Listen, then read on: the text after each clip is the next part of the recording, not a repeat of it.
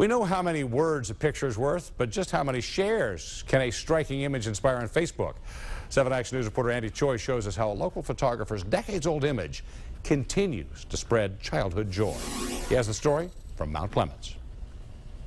It was a moment captured 40 years ago right here in Mount Clemens. And now through the power of social media, it's a moment rediscovered and a story retold. You can't help but smile back at a photo like this. It's why retired Macomb Daily photographer Joe Cracchiola shared the decades-old image on Facebook.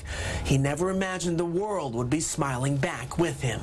Just the, the pure joy, the innocence, the spontaneity of it. I mean, it comes down to that. We caught up with Cracchiola, now living in New Orleans, through FaceTime. And as his young subjects now receive some extra FaceTime thanks to Facebook, the photographer is in the process of locating the kids and planning a reunion. Now I have a real good understanding of what they mean when they talk about things going viral. We've seen a guy with a camera and we uh, stopped, went over there, and tell them to take pictures of us. Cherry Street in Mount Clemens has changed since Robert Shelley called it home. He's the boy on the far right.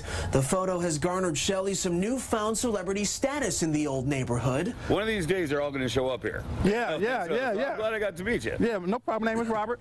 More than that, Shelley says the photo is a great reminder of a childhood full of joy, far from prejudice. They could have been green, purple, yellow, them kids. I mean, so we, I mean, it doesn't matter to me. I mean, I love everybody. In Mount Clemens, Andy Choi, 7 Action News.